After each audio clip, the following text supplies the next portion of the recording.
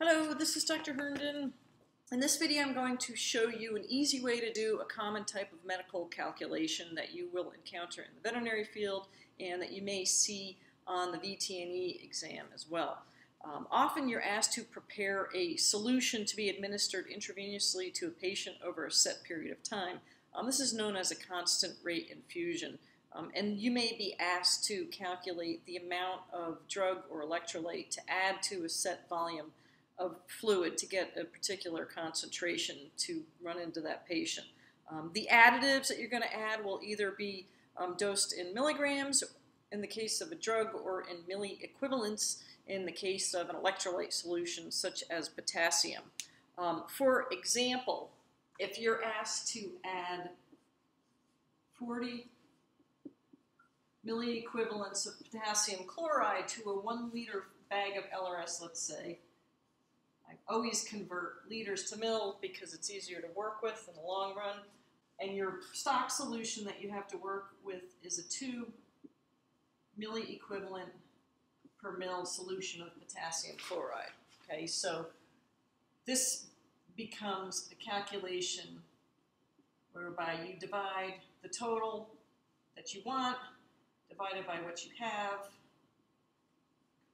mil, and in this case, resulting volume is 20 mils of your 2 milli equivalent per mil potassium chloride solution added to your 1 liter fluid bag. Okay, if you add 20 mils, 20 times 2 is 40 milli equivalents. So that's fairly straightforward. Okay, but let's say that you have, instead of one liter, you have 750 mils left in the bag. There's a couple of different ways to do this. You can do it as a ratio, so you know that you're going to be adding 20 mils of your solution to 1,000 mils, so that becomes x over 750 mils. And then you can cross multiply, and in this case, x will equal 20 times 750 divided by 1,000 equals 15 mils.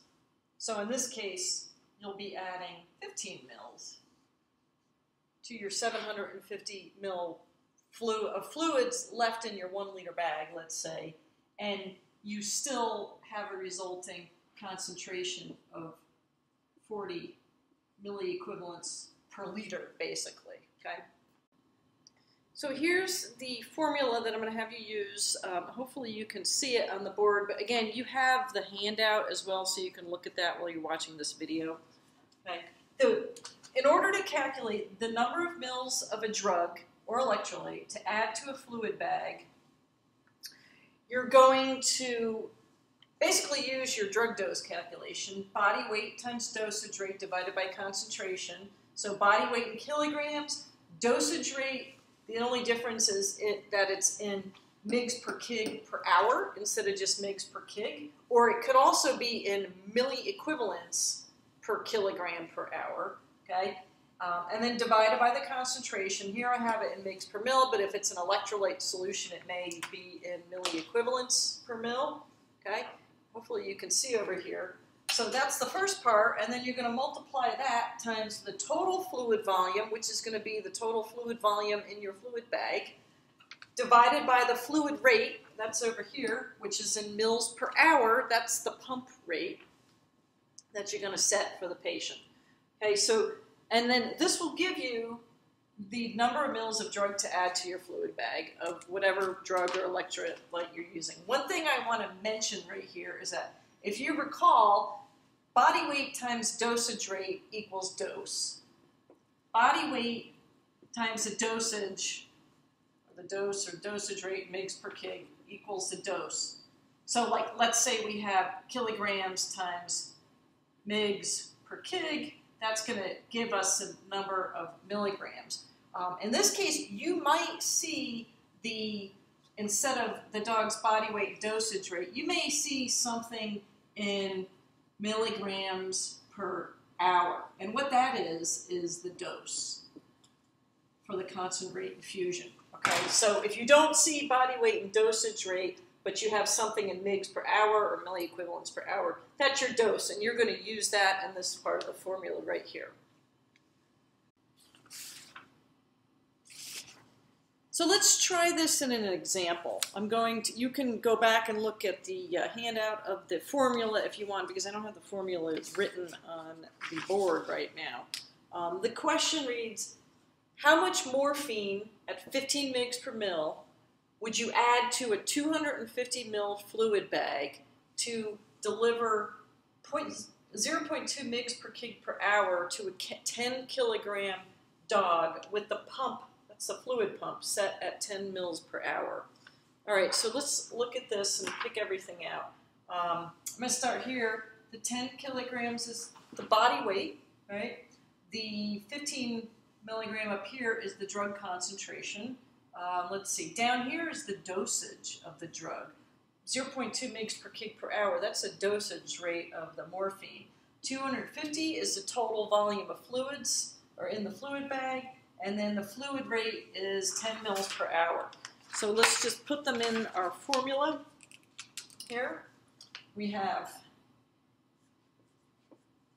10 kilograms of body weight times the dosage rate, which is 0.2 mgs per kg per hour, divided by the drug concentration, which is 15 mgs per mil. And then we're going to multiply that, make sure I don't go off the uh, screen here. Multiply that times your total fluid volume, which is 250 mils right there, divided by the fluid rate, which is 10 mils per hour.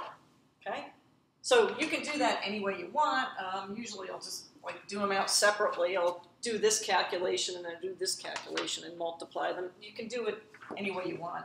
Um, and your final answer, I've got to look it up here because I don't have my calculator, is 3.3 mils of the morphine solution that you're going to add to your 250 mil fluid bag to run at this rate, 10 mils per hour, in your fluid bag to deliver the dosage rate of 0.2 mg per kg per hour. Okay? So really, I just pulled apart everything in this um, question right here and stuck it into my formula to get my final answer. All right, we have another example here that I'm going to go over. Um, this one's a little bit different because you'll see that some of the values that you're given are a little bit different than what I did in the last problem, but it is essentially the same problem. I just did one step for you. Um, so here's the, the question reads, you have an injectable calcium solution that is 30 mgs per mil. So I know that's the concentration of the calcium solution. How much do you add to one liter of lactated ringer solution to deliver 4 mgs per hour of calcium at a rate of 30 mils per hour? So I can see here that I have the concentration of our solution. I also have the fluid rate that's we're going to set on that pump okay? And I have the total volume of fluid, which is one liter or a thousand mils. But what I don't have, I don't see the dosage rate and I don't see the patient's body weight. But if you remember from our drug dose calculation, the dose of a drug equals body weight times dosage rate. So in this case, they've already done that for us.